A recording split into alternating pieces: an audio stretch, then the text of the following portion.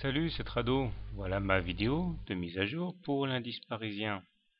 La séance d'aujourd'hui est, contre toute attente et malgré le léger reflux euh, d'un quart de point de pourcentage, plutôt positif.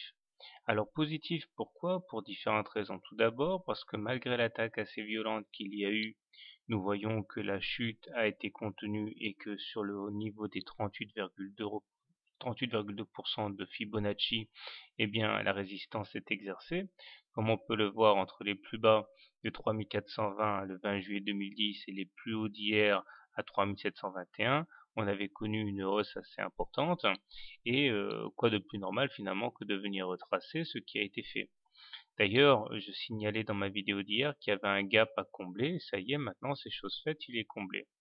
Et euh, dernière chose assez intéressante, c'est que la clôture, ici, se fait tout juste au-dessus de la moyenne mobile à cette séance. On voit bien qu'il n'y a pas péril dans la demeure, puisque euh, finalement, nous sommes au-dessus de la M20, au-dessus de la M7, toutes les deux étant croissantes.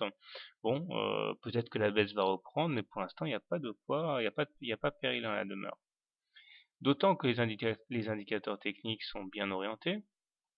Si on en juge le MACD qui est au-dessus de son signal, le stochastique qui est toujours dans sa zone de surachat, seul le momentum tergiverse un petit peu mais demeure quand même positif. Euh, le canal bleu ascendant ici est toujours valable. On pourrait même se permettre d'aller chercher euh, à terme les 3500 sans le remettre en cause. Alors, euh, du coup, comment trader le CAC lundi? Eh bien, si vous êtes haussier, vous avez un bon point d'entrée ici. L'objectif est d'acheter au plus proche des 38,2% de retracement de Fibonacci. Mettre un stop loss en cas de clôture en dessous de la moyenne mobile à 20 séances, hein, ou si la perte maximale autorisée est atteinte.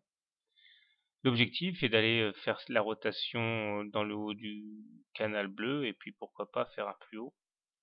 Si maintenant vous êtes plutôt conservateur, vous pouvez attendre d'aller chercher la moyenne mobile à 20 séances pour entrer. Si maintenant c'est plutôt le, le, trade baissier qui vous intéresse, hein, si vous voulez shorter le CAC, je pense que pour l'instant il est un petit peu délicat de, shorter, mais bon vous pouvez toujours essayer de le faire en prenant soin de mettre un stop loss en cas de franchissement euh, des plus hauts d'hier, à savoir les 3730.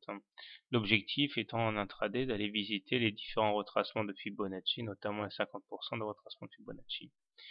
Par rapport à ce que je racontais hier, euh, il est clair que c'est l'option baissière qui a prévalu, euh, qu'il était bon de, choisir, mais j'insiste, hein, pas grand chose sur ce graphique journalier ne plaide pour une continuation de la baisse.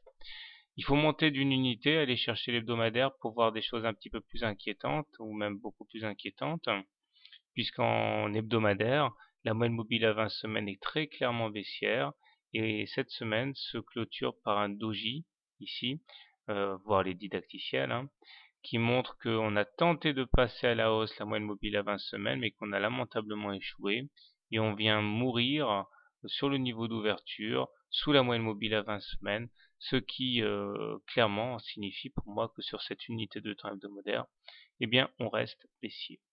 Voilà, bonne soirée, bon trade, à demain.